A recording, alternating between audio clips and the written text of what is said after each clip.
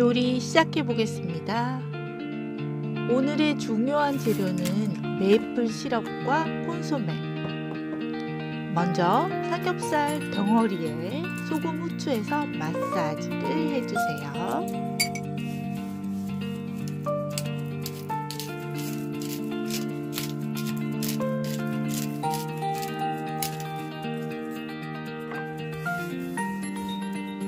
이대로 굽고 싶었지만 프라이팬에 안 들어가서 적당히 4등분 했습니다.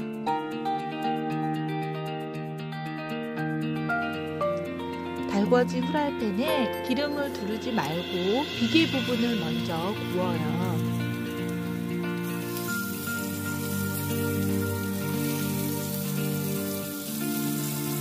중간중간 기름을 닦아내가면서 골고루 익혀주세요. 그 사이 곁들일 야채를 데쳐요.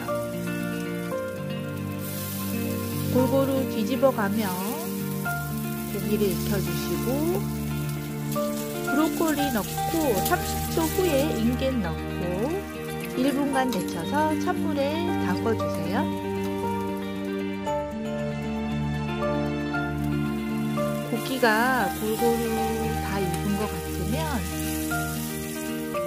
이제 냄비에 메이플 시럽 4큰술 정도 듬뿍 넣어주세요. 이 레시피는 지금 일본에서 뜨고 있는 전설적인 슈퍼 가정부 시마상의 레시피입니다. 메이플 시럽이 부글부글 하지만 젓지 마세요. 요대로 2, 3분 끓여요.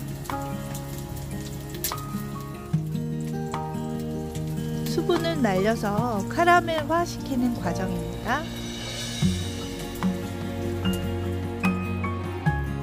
달콤한 카라멜 향으로 가득하면 이제 물 500ml를 넣고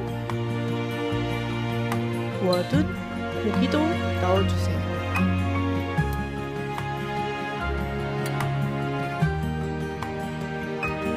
콘소메 큐브 하나 넣고 이제 뚜껑 덮어 30분간 푹 끓여주세요.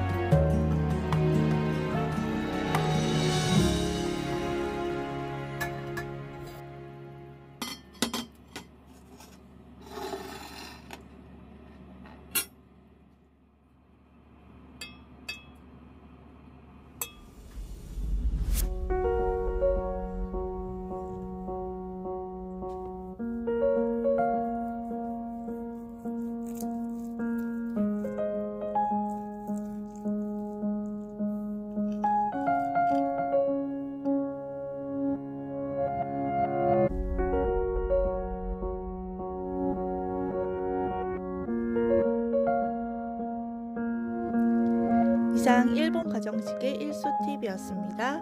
구독과 좋아요는 큰 힘이 됩니다. 감사합니다.